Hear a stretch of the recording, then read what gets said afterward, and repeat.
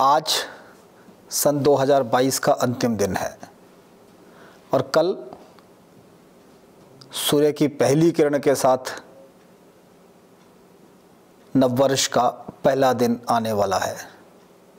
इस शुभ अवसर पर मैं विश्वविद्यालय के senate, board of management, academic council research extension council विश्वविद्यालय के सभी संवैधानिक अधिकारी प्रोफेसर साइंटिस्ट अन्य अधिकारी, कर्मचारी तथा विश्वविद्यालय के विद्यार्थियों की तरफ़ से सबसे पहले प्रदेश के नवनियुक्त मुख्यमंत्री आदरणीय श्री सुखविंदर सिंह सुक्खू जी का और उप मुख्यमंत्री श्री मुकेश अग्निहोत्री जी को हार्दिक बधाई देता हूँ प्रदेश का नया दायित्व लेने के लिए। और इसके साथ ही मैं प्रदेश की सारी जनता को, हमारे किसान भाई, बागबान भाई, बहनें और जो भी विभिन्न विभाग जो इस विश्वविद्यालय से जुड़े हैं, जो बागवान किसान के कल्याण के लिए जुड़े हैं, उन सबको भी नववर्ष की शुभकामनाएँ देता हूँ। हार्दिक बधाई देता हूँ। मैं ईश्वर से प्रार्थना करता हूँ कि नववर्ष में हम सभी के लिए नई चेतना, ऊर्जा एवं प्रदेश और समाज के सर्वांगीण विकास के लिए, यहाँ की आर्थिक उन्नति के लिए हम नवाचारों के साथ आगे बढ़कर इसी तरह विश्वविद्यालय से काम करते रहेंगे, ऐसा मैं ईश्वर से प्रार्थना करता हूँ। उद्यानिकी एवं वानिकी विश्वविद्यालय सदैव ही बागवान किसानों के आर्थिक एवं सामाजिक विकास के लिए अग्रणी रहा है।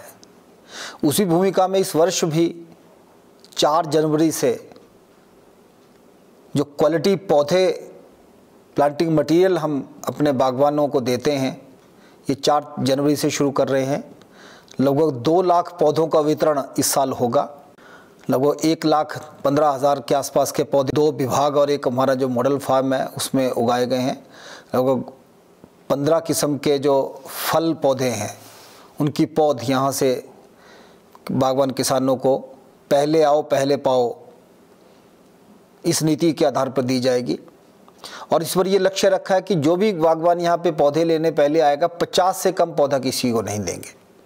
विशेषकर सेब में हम ऐसा करेंगे और बाकी पौधों की उपलब्धता के अनुसार वितरण किया जाएगा। और इसी तरह हमारे विश्वविद्यालय के जो रिसर्च स्टेशंस हैं, बजौरा में है धौला कुआँ में है, नेरी में है, जाच है, शारबो, किन्नौर में है, और कृषि विज्ञान केंद्र, उनसे भी पौधों का वितरण किया जाएगा। और मैं उम्मीद करूँगा कि सभी बागवान भाई चार तारीख से आना शुरू करें।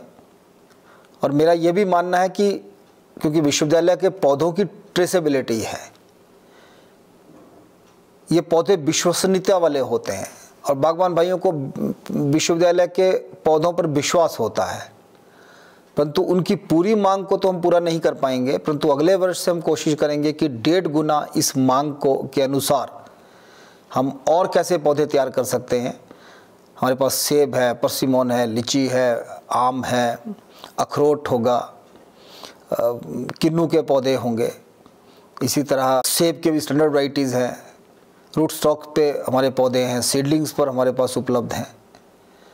ऐसे कई किस्म के जो पौधों हम किसानों को देने वाले हैं। चेरी हमारे पास इस वक्त देने को है। पलम, पीच, एप्रिकॉट, पियर, ऐसे स्टोन फ्रूट्स भी हम किसानों, बागवानों को उपलब्ध कराएँगे। तो मेरा सबसे निवेदन है कि आप चार तारीख को आपको निवेदन है, आपको आमंत्रण है, आप आएँ और जो विश्वविद्यालय से जो गुणवत्तापूर्वक पौधे हैं, वो अपने अपनी मांग के अनुसार, अपने अपने चॉइस के अनुसार आप यहाँ से ले जा सकते हैं।